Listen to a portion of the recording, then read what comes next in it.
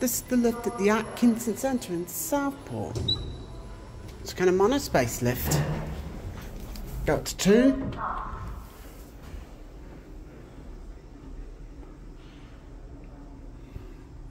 Capacity 21 persons, 1600 kilos. It's a Kone monospace lift built in 2012.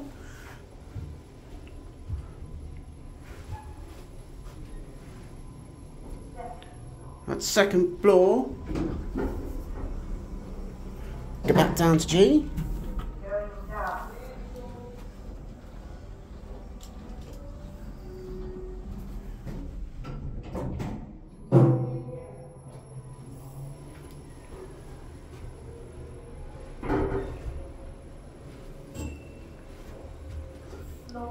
We are back at G, these doors.